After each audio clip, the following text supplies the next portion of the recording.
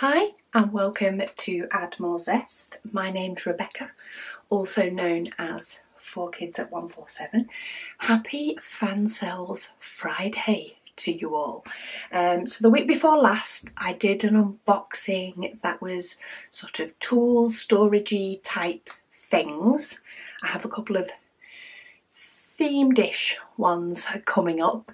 Um, but today is the C word. These are all things that may or may not, but may, more than likely may, spark your interest um, for the festive season.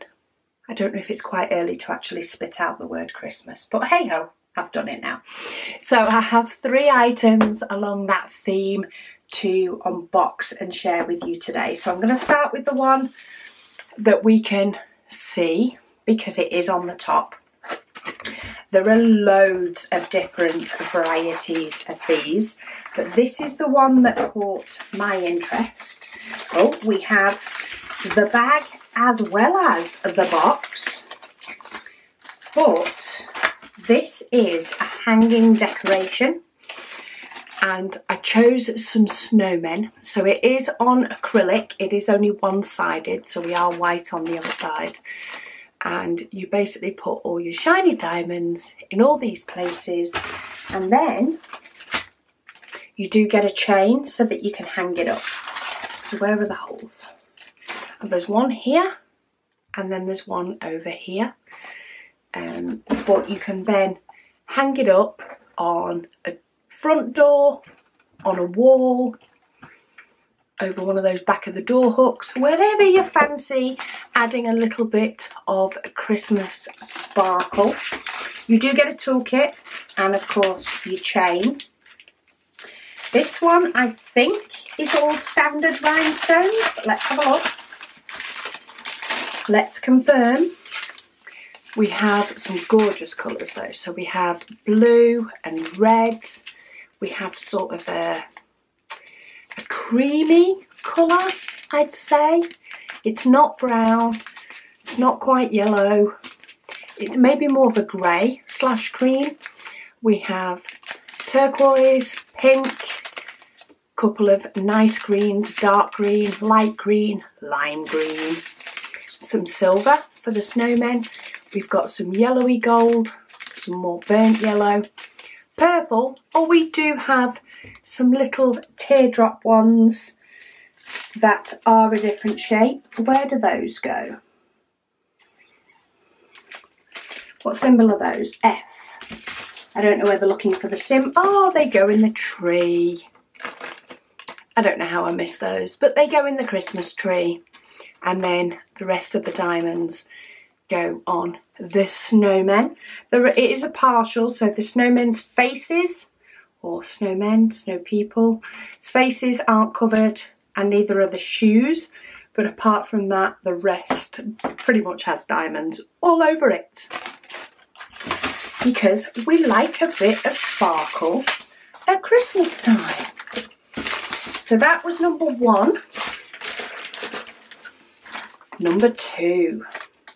I need scissors so I can get in it. Let's try and cut it not through the bubbles, see if that'll be a little bit easier for me. Which one's in this one? There's a few different Christmas themed things coming up. Oh, yes. They have quite a few of these as well. Christmas glasses. So it is on like a very, very, a thin plastic, but still quite thick. Um, they are just attached to these plastic frames, but you can have snowman eyes with diamond painting. There is so many things they have brought out um, this Christmas that you will find some form of sparkle that you can add to your own Christmas decorations, but we do get a toolkit. Don't know why I held that up to the camera for so long because that was not required. We have four colours, so I'm not going to pull them out the packet because we have red, we have black, we have orange, and then we have silver. which is, oh, get hold of it, red, black, silver will be the snowman and orange for the nose and you can create yourself a wacky a pair of glasses for that Christmas party that you're going to. So that's number two. And then number three. Oh, oh yes. I say there's a few different Christmas things and I wasn't sure what was in each bag. But this is a Christmas tree. So it's again all pieces of acrylic. They are only single sided, but we have a thinner piece of acrylic that is a Christmas tree. Then we have what goes on the Christmas tree, which is like a snowflake bauble, and that gets attached with the string. So it will dangle from there and then you have a stand that you then put said Christmas tree into so that it can go on the side and have your little snowflake dangling. I thought that was so fun. Again, there are a few different ones of these. That's probably what took me the most time this time was which one do I fancy? Because a part of me wanted them all. Um, the base does get decorated as well because you can't have enough sparkle at Christmas, to be honest. We do have what looks like a piece of sticky. I'm guessing that's in case any of it loses its sticky. But it all looks very well and sticky to me. They're all covered in clear coat. And then we have got a few different types of diamonds for this one, though they are all special diamonds. So let's start from the smaller ones. So we have some deep blue, we have some white pearl type diamonds, uh, red rhinestones, yellow rhinestones, silver, oh they're very silver, very sparkly silver rhinestones.